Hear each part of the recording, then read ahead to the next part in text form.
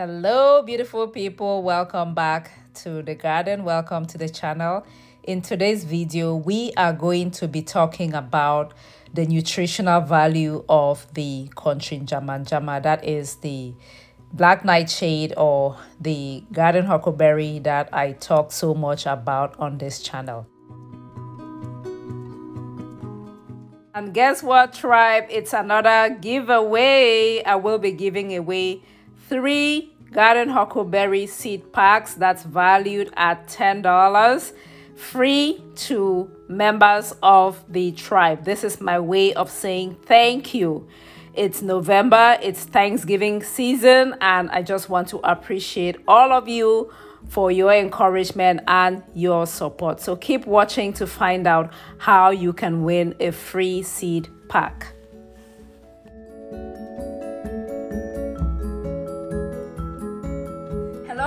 Tribe how are you all doing? Thank you so much for clicking to watch today's video.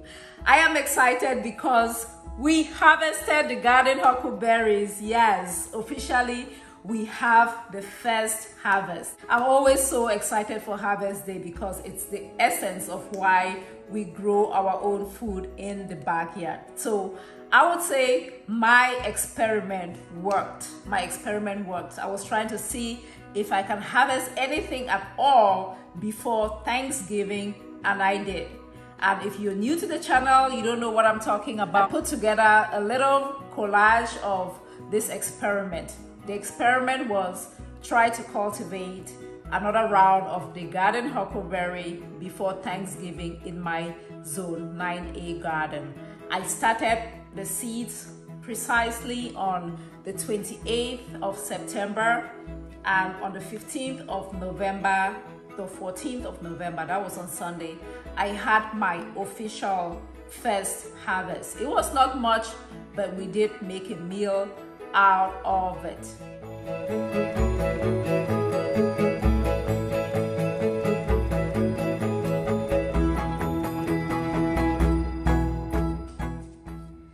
A lot of you have reached out to me to ask how the garden huckleberry tastes like. It has a mild flavor. It is not overpowering. The garden huckleberry may have a slight bitter taste. It depends on when it is harvested. The younger shoots are not bitter, but the older the vegetable, it starts to build up that bitter compound within the vegetable. It is not slimy. It is not like okra. It is not mucilaginous. It's just you know, think of it like spinach. And we use it in much the same way as you would use spinach. Usually it is cooked. I have not seen, I've not come across any tribe that eats the garden huckleberry raw. But if you're watching and you eat this raw, let me know and let me know how you, you eat it wherever you are from. Now let's talk about the nutritional value of the African garden huckleberry. Let me just say that the nutritional value depends on several factors it's going to depend on when the vegetable was cultivated. In Africa or in Cameroon, it's usually cultivated either in the dry season or the rainy season. We just have two seasons. Dry season when it's hot and dry and the rainy season when it's wet and it's raining as opposed to out here outside of the tropics we have four seasons so vegetables cultivated in the dry season are going to have a different nutritional profile compared to vegetables uh, or the garden huckleberry cultivated in the rainy season. Just something to keep in mind. Other things that might affect the nutritional profile, um, the fertility of the soil, okay? The fertility of the soil could impact the nutritional profile as well as the age of the vegetable. So the younger shoots or younger leaves might have a different nutritional profile compared to the older vegetable. In fact, the younger crop is more nutritious compared to the older vegetable. Another thing you might want to know is that um, when you cook the vegetable, about 60% of the vitamins get lost. Okay, it leaches out of the vegetable into the vegetable water.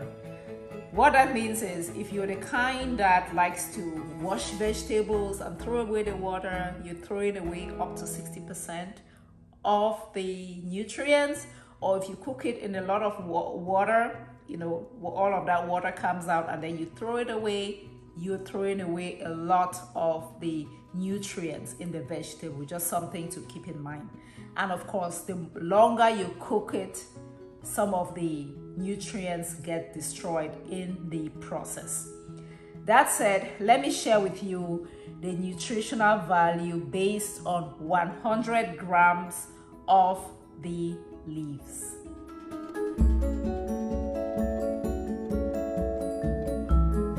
It has 83 to 91% water, 2.8 to 5.8 grams of protein, 0.6 to 1.4 grams of fiber, 3.3 to 5% of carbohydrates, only 38 calories per 100 grams. 1 to 4.2 milligrams of iron, 90 to 442 milligrams of calcium, 75 milligrams of phosphorus, 1.7 to 11.6 milligrams of beta carotene. I hope that with this information, you will definitely consider trying out this vegetable. And if you do want to try out the vegetable and you need some seeds, you can watch this video for an opportunity to win one of these or after the month of November, I am going to be selling the seeds.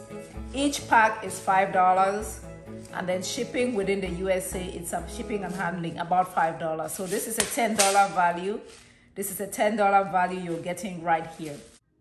If you've watched up to this point, I would like to say thank you collect the letters that pop up and WhatsApp to the number on the screen and I will send you some free garden huckleberry seeds at no cost to you at all. Some letters are going to be popping up as you watch this last part of the video. Collect the letters, there should be six of the letters and send them to me via WhatsApp. My numbers are going to be on the screen along with your address and I will send some seeds to you you of the garden huckleberry vegetable and you can try them in your backyard. Thank you so much.